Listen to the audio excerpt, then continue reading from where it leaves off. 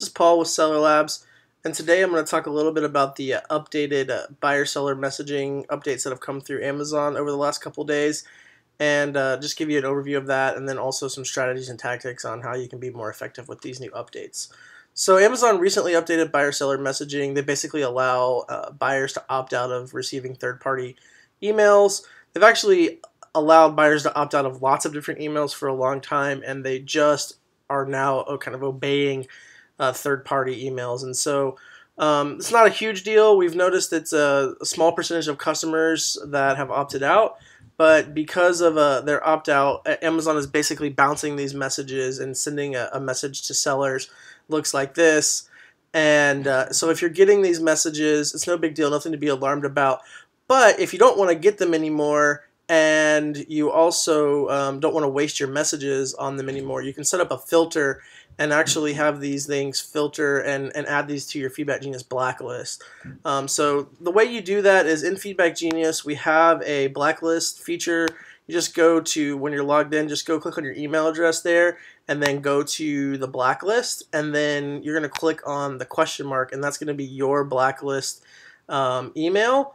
And so what happens is if you actually forward an email to this email address, then Feedback Genius will automatically take either the sub what the sender who it's coming from or the an order ID from this from this body of the text and add that to your blacklist.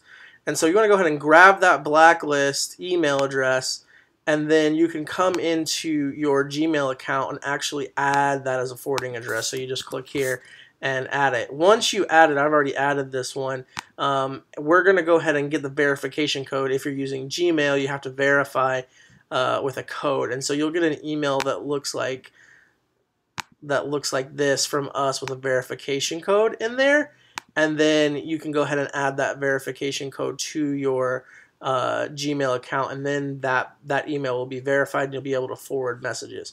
After you've done that, you just need to go to filters in your um, Gmail account, and this kind of principle works if you're using something else, but you're going to create a new filter and we're actually going to grab the from email address here so it's going to be from Amazon Amazon dash communication and we'll go ahead and put that from address in there. And then you can actually put a filter on containing some different language there just in case you're getting other uh, messages from Amazon. We don't want them to just get forwarded out of there. So I'm just gonna say buyer has opted out of unsolicited messages and I will go ahead and add that there. And then I'm just going to create a filter with that search and then it's going to ask me what I want to do with it and I want to forward it to my blacklist uh, feedback genius blacklist email create my filter and now I'm done. And then whenever I get another one of these bounce messages from Amazon uh, Gmail will automatically filter that send it over to feedback genius and they'll get added to my blacklist and I won't be messaging them anymore.